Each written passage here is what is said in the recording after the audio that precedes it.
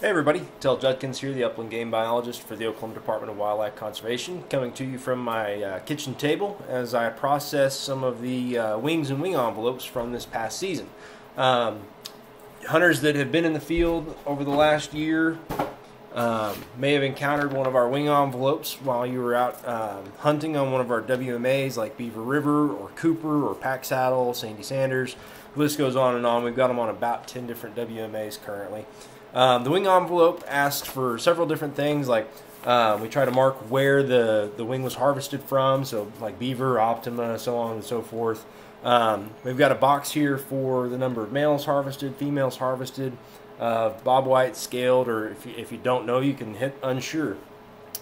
Next little box is some demographics on a little bit about you, so or about your hunt. So what day was were you out there? What's your home zip code so we know kind of how far you traveled to get to that specific WMA? Um, the number of hunters, both uh, adult and youth. Um, how many hours were you out hunting? How many dogs did you use? And then lastly, we ask if we can contact you with a follow up survey if, if we would like to or if we need to. Um, the last box is about the weather conditions and what type of habitat that you hunted while you were out there that day. So, um, like for instance, was it sunny, cloudy, was it raining, was there frost on the ground? Um, all of those things can kind of help us uh, determine um, across the spectrum how much success you could have had had the weather been a little bit better or a little bit more favorable. So, for instance, if you hunt a really dry day uh, with high winds, your dog's are going to have more difficulty finding the birds. Um, whereas if it's a, um, a, really humid day or a lot of dew on the ground, uh, the dog's going to have a better time picking up that scent. That scent's going to last on the ground a lot longer. So let's take a look. Uh, we've got a envelope from Cooper WMA that I'm working on currently. Um, this hunter harvested um, five birds on December 17th of 2019. Let's see, he hunted for about six hours with three dogs and uh, encountered five coveys, averaging 15 birds a covey. Not too bad of a day. The winds were uh, about it was about 43 degrees and 10 mile an hour winds, cloudy, and he was hunting native grass. So you might be wondering what I do with all the wings. So um, first, I go through each wing and look um, at the box provided he says he had harvested three males and two females. So I go through and look at the wings to determine, make sure that that's true, that's correct. Um, for instance, on this wing here, I'll try to zoom it in so you can see, there's not a lot of any patterning or anything right there. That's going to be a female wing. On another one here, try to find a really good example.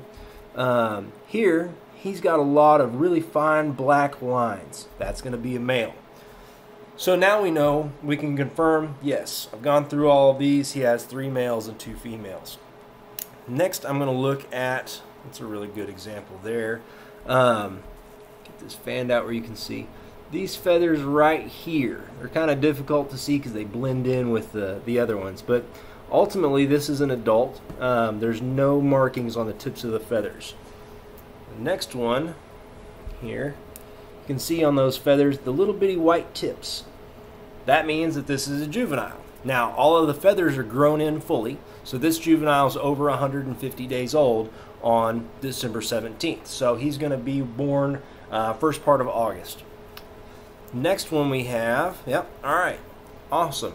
So this one's a little torn up. Either it uh, was a little close or the, the dog got a little rough on it, but ultimately, try and get it here where you can see, this is the 10th primary is, has been shot off. The ninth primary there is a little torn up, but the eighth is this little bitty guy here, and there's a sheath. So that's actually still a, a pin feather that's still growing. We can actually measure that, and it measures, let's see, about 24 millimeters.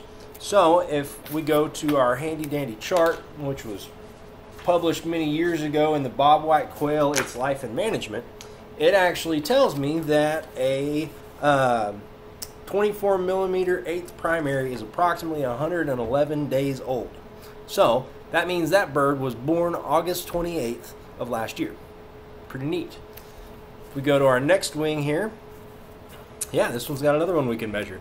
So we have, this will be a little bit easier to see as well. 10th primary, 9th primary, 8th primary is that little guy right there. So we can measure it. And then its 7th primary is also still growing. What I'm doing here is I'm looking at the back side of the, the feather. And you can see the sheath there on that one. And there's still some sheath on the one next to it. Right there where my fingernail's at. So we'll measure both of those real quick.